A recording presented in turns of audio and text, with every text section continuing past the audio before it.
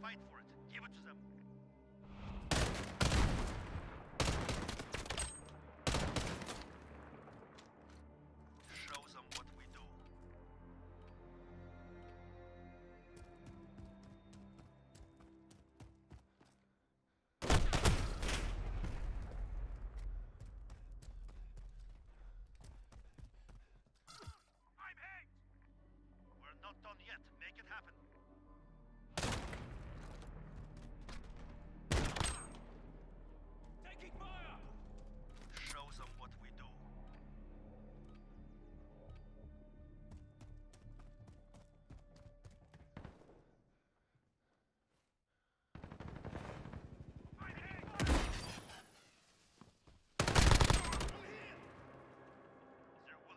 Life as their mission.